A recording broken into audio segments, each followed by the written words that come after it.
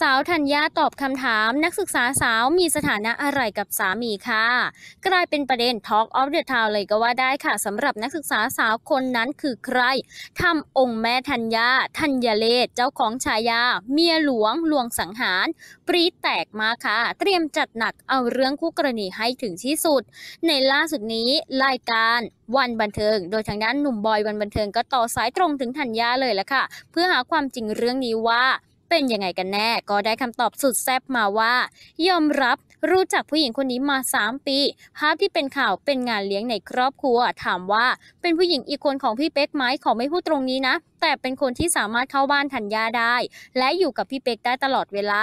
ยอมรับก็คือ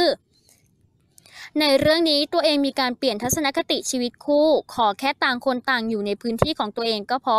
แต่ว่าตอนนี้คือเขาไม่ได้อยู่ไงเป็นลามปามถึงลูกสาวเลยไม่ยอม ขอประกาศสงครามเลย เรื่องราวมันเดินทางมา 3 ปีแล้ว แต่แค่อยู่เงียบๆไม่เป็นไร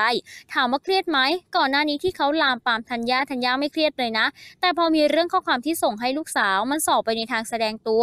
อยากจะมีตัวตนให้กับลูกสาว คือมันไม่เหมาะสม อันนี้คือประเด็นหลักเลย ซึ่งเป็นที่มาของคำพูดที่ว่าทำอะไรเขาเขาไม่ว่าแต่ถ้ามายุ่งกับลูกคือตาย ส่วนน้องผู้หญิงที่เป็นข่าวนั้นก็เป็นอะไรกับพี่เป๊กทั้งในการสรุปให้ว่า คงต้องให้คุณผู้ชมไปตกตะกอนแล้ววิเคราะห์กันเอาเองนั่นแหละค่ะ